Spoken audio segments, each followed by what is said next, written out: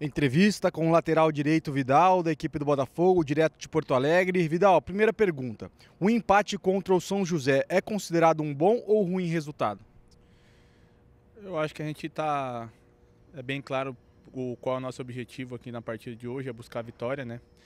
Logicamente que a gente, considerando uh, os confrontos diretos e pela dificuldade do, do, adversário, do gramado, toda essa circunstância, a gente pode considerar que dá um pouquinho não um, um resultado ruim mas nossa equipe veio para buscar a vitória, a gente trabalha para isso. O Paulo uh, coloca nas condições do jogo a vitória do início ao fim, então a gente veio para isso. A próxima pergunta, Vidal: como o grupo encarou a derrota para o Figueirense? E para sábado, a reabilitação é palavra de ordem da comissão técnica e jogadores? Acredito que sim, né? A gente vinha de uma sequência de vitórias muito boa, a gente vinha do desempenho muito bom. E a gente tem que pegar de lição esse jogo do Figueirense, porque nós tivemos alguns erros, foi cobrar isso durante a semana, a gente trabalhou em cima disso também. Então é colocar em prática e não cometer mais esses erros para que a gente possa conseguir a vitória e, e continuar brigando pela classificação o quanto antes, né? A gente sabe que a gente falhou em alguns momentos durante a partida contra o Figueirense, não tirando o mérito deles também, mas a nossa equipe também a gente teve situações claras de, de fazer o gol, de finalizar. Mas eu acho que é em cima disso que a gente tem que pensar em, em quando tiver a oportunidade de fazer o gol. Então é uma partida contra o Figueirense nos mostrou isso. Né? Então é claro que a gente vai, vai trabalhar em cima disso e com certeza corrigir o que tem que ser corrigido para a gente fazer um bom desempenho sábado. Vidal, você já jogou em algum campo nas condições que vai enfrentar sábado? O que espera dessa situação? Já joguei, inclusive já joguei aqui contra o time de São José, né? Um gramado diferente, onde a bola fica muito viva, a bola fica quicando.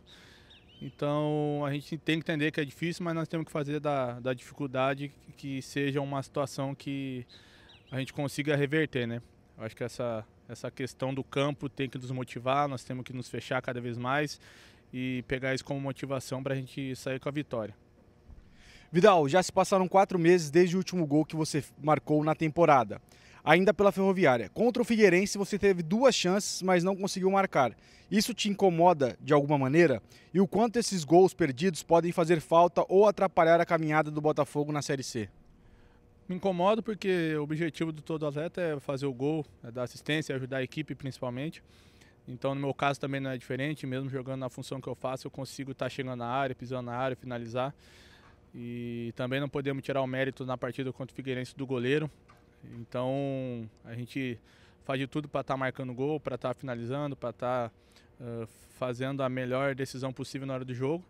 E também a gente trabalhou em cima disso na hora da, da finalização, do terço final, a gente aproveitar mais as oportunidades que nós estamos tendo. A gente tem criado muita oportunidade, o Paulo tem nos cobrado isso, então a gente tem que estar tá tirando isso como lição.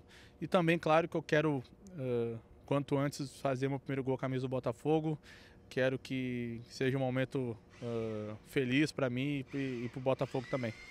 Vidal, na última temporada pelo Brasil de Pelotas, você atuou neste gramado contra o São José e venceu essa partida. Existe muita diferença do sintético para o natural? E se sim, já passou eh, essa sua experiência aos demais atletas? Já passei, né? A gente tem conversado durante a semana, a gente tem, bate, tem bater, vem batendo essa técnica em relação ao gramado. Então, a última partida que eu fiz aqui, graças a Deus eu consegui sair feliz, consegui sair com a vitória. Espero também que sábado, amanhã, a gente consiga fazer um bom resultado e sair com a vitória também, porque a gente vem trabalhando muito forte, a equipe vem crescendo, né? Então a gente busca essa classificação enquanto antes a gente conseguir a vitória para a gente estar tá mais perto da nossa classificação para a gente melhor. E, eu converso sim, a gente conversa em relação a, a como vai ser a partida, a análise vem nos mostrando uh, vídeos, uh, a parte mental também nossa tem que estar muito forte porque é, é um gramado diferente. Então, o que a gente possa fazer, aproveitar uh, da melhor maneira possível essa situação e fazer da motivação ela. A última pergunta para você, Vidal. Nos próximos quatro confrontos, três adversários também lutam pela classificação e um contra o rebaixamento. Como está o elenco para essa reta final? Bom, a gente tem ciência da, da briga que está sendo, né? Uh, a pontuação está sendo muito próxima uma da outra. E quando eu bato nessa tecla de vitória é por causa disso, a gente não pode dar uma brecha porque o campeonato ele está muito, muito parelho, vamos dizer assim.